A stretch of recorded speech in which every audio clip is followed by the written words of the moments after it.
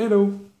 In this video I wanted to have a look with you at this quite exotic brushed uh, flight controller which handles uh, Betaflight.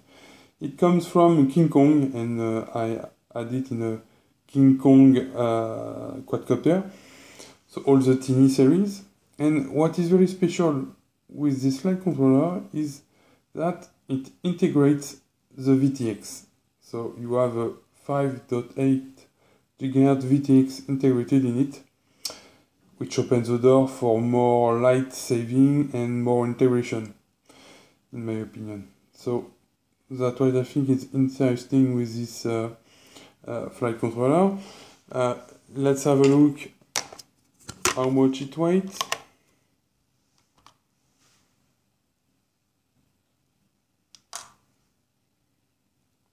So it's less than 4 gram with the pigtail, uh, which is a JST 2.0 pigtail here. Uh, it's very light, uh, but uh, it doesn't integrate a RX. So you will have to add the lyrics of uh, your choice, DSM, FlySky or FrSky. So in one end you have uh, the VTX integrated, but on the other on the other end you will have to add ERX, but ERX is often lighter than the VTX. So I think we should be able to do very light uh, things with it. Uh, one other thing to mention is it doesn't have an OSD. So if you want OSD, you will have to add it at the camera level. And uh, it's an F4 flight controller, uh, which runs under Betaflight. So uh, uh, no problem to update or to to update the firmware to the latest version with it, it works at the standard port. Uh, I give you here, if you're interested, the um, frequency table of the 16 only frequencies uh, that this VTX is able to use.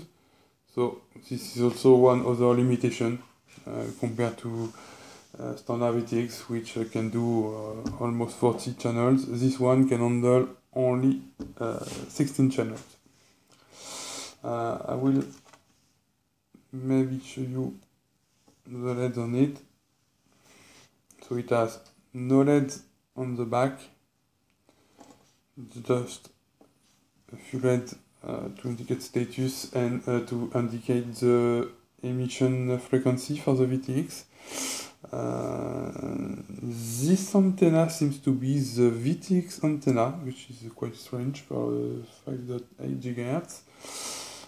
Uh, but it is because it's not the RX one, because there's no RX on it. Uh, that's all I think. I hope you found this information useful. I made this video because I wasn't able to find any relevant information about this flight controller on the internet or on YouTube. So I decided that uh, maybe it would be a good idea to, to make one. Uh, please uh, leave a comment or uh, subscribe if you found this information uh, useful. Thanks for watching. Bye bye.